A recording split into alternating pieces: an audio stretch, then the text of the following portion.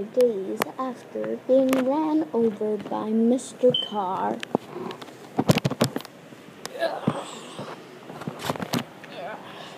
Hey, Mr. Car, I'm sorry for touching your melting eyeball. Oh, it's okay. But I have one serious question. Can I run you over? Um, no, thank you. Now you will perish for not letting me run you over. Mr. Car.